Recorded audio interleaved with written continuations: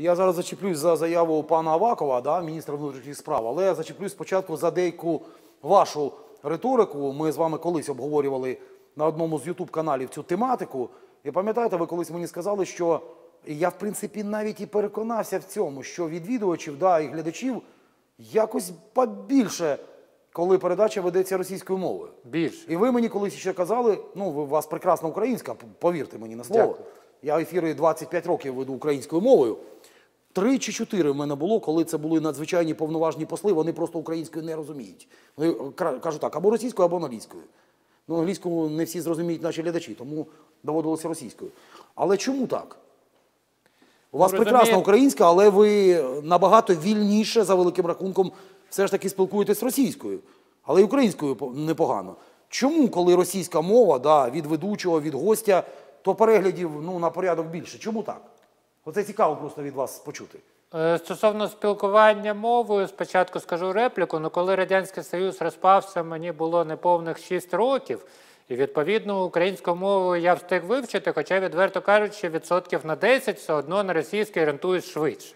На українській іноді треба щось е, подумати, якесь підібрати слово.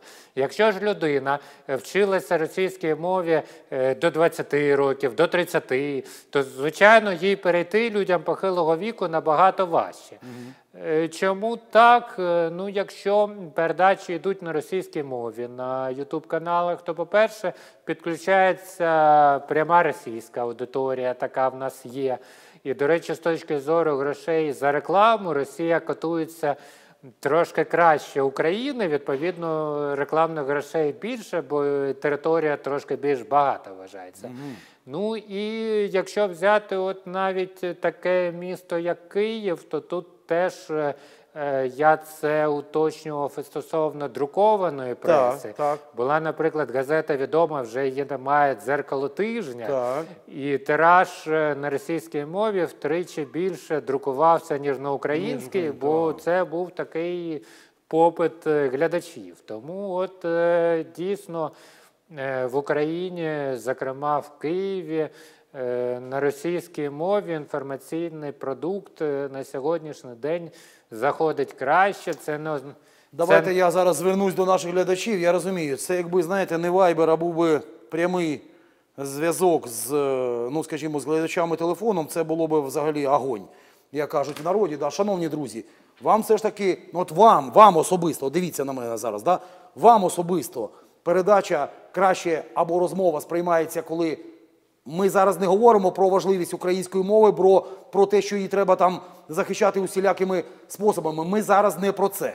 З точки зору суто сприйняття, от вухо, да, аудіо, да, вам краще сприймається та чи інша інформація українською чи російською?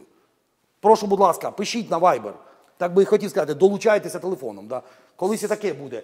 Пишіть, будь ласка, на Viber, це, ну, це, це, це буде дуже інтересно. Це буде дійсно дуже цікаво. Сергій, будь ну, ласка, тут да, прошу. ще є такий нюанс, що, як правило, ТВ, е, ТБ, верніше на українській мові, е, дивляться більше такі люди з середнього віку і старші. Так. Якраз от їм все-таки російська мова часто буває зручніше. Якщо ми подивимося, наприклад, молодь, ті, що в Україні вже народилися, вчили з дитячого садочку вже українську мову, мову, так, так.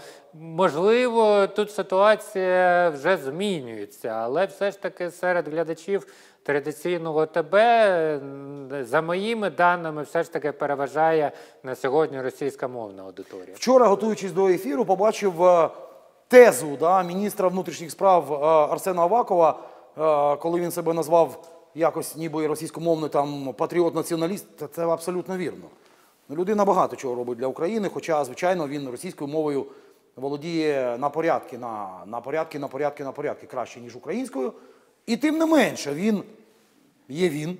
Він сказав, що треба створювати або якось модернізовувати в цьому річищі російськомовний, да, патріотичний канал, який буде або медіа, або низку медіа. Ну там така була просто заява, що це не обов'язково означає, що якщо ти російською мовою розмовляєш, навіть в ефірах, то це обов'язково щось там таке, як ми з вами там, про руку Кремля.